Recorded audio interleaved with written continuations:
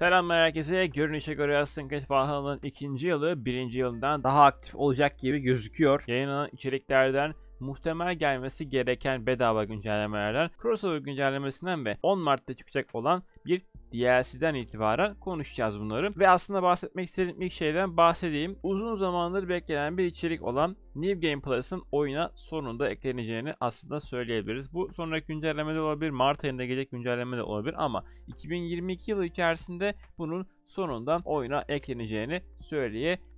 Aslında bunun eklenmemesi nedeni uzun zamandır da tamamen köyümüzle alakalı bir güncelleme olmasıymış. Yani köyümüzdeki şeyleri yapmamız gerektiği içinmiş. Yani yakın zamanda bir güncelleme geldi örnek verirse Cassandra güncellemesi. Bunu oynamak için en azından köyümüzün seviyesi 4 seviye olması gerekiyordu. Onun için New Game Plus'ı getirmemeyi tercih etmişler bu zamana kadar. İlerleyen zamanlar için ne olur diye düşünmemiştik tabii. Şu anda onun geleceğini de oynayabiliriz. Festivallere son gaz devam diyebiliriz aslında. Geçen sene gelen festivallerin aynısı ya da benzerinin 2022 yılı içerisinde de göreceğimizi söyleyebiliriz. Diğer güncellemelerde örnek vermek gerekirse mesela River Race'in devamı gelebilir. Mastery Challenge'ın ikinci partı gelebilir. Tombs of the Fallen'ın ikinci partı gelebilir. Burada önemli bir detay var. Tombs of the Fallen ile Mastery Challenge'ın aslında bağlantılı olduğu düşünülüyor oyuncular tarafından. Ben de öyle düşünüyorum bu arada. Bir sonraki gelecek güncelleme de 2022 yılı içerisinde gelecek güncelleme içerisinde bu iki tane içeriğin birbiriyle bağlantılı olduğunu aslında görebiliriz. Ekstra bir DLC daha gelebileceği konuşuluyor. Cassandra DLC'si gibi. Ama Cassandra gibi eski bir karakter olacağını söyleyemeyiz ama burada. Normal bir DLC kafasında olacağını, yeni bir bölge getireceğini söyleyebiliriz. Örnek vermek gerekirse yine diyarlarla alakalı bir DLC olabilir. Zaten 10 Mart'ta da Dawn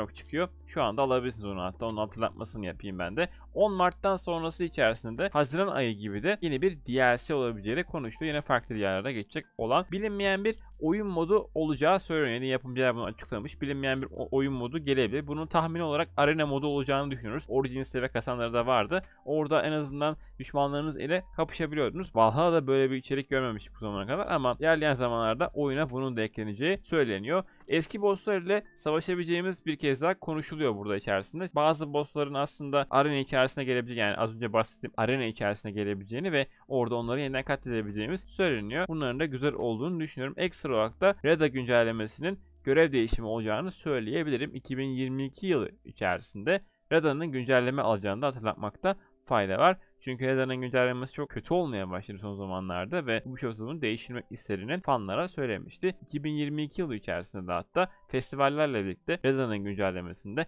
artacağını ve değişeceğini söylemekte fayda var. Ve en son olaraksa crossover hikayelerinden bir tanesi daha gelebilir. Yakın zamanda Origins bir güncelleme almıştı. Onun hakkında bir videom vardı. O da çıkar mutlaka karttan. Onu izlemeyi unutmayın. Büyük ihtimalle 2022 yılı içerisinde Origins içerisinde de bir DLC crossover'ı göreceğiz. Bu hikaye nasıl bağlanacak ama bir fikrim yok. Çünkü Origins ile Valhalla arasında çok fazla bir zaman geçiyor ve o zamanlar o zamana kadar yaşayan tek karakter yine Cassandra olduğu için ve Cassandra'yı yakın zamandaki DLC'de kullandıkları için ben onun mantıklı olacağını düşünmüyorum. En azından Valhalla'ya bir içerik gelirse. Ama Ubisoft geriye döner biraz zaman geçirmek isterse ve Origins içerisinde zaten Cassandra'nın olduğunu biliyordu. Cassandra'yı orada kullanmak isterse biraz değişik olabilir ama yine de eski bir oyun olduğu için ve yani aslında Bayakin hikayesi belli noktalarda bittiği için bunun soru işaretlerini yine barındırıyoruz. Ama 2022 yılını geçirmek için bir içerik getireceğini düşünürsek aslında Ubisoft'un da yakın zamanda Origins'in güncellemesini gördükten sonra da crossover hikayelerin muhtemel geleceğini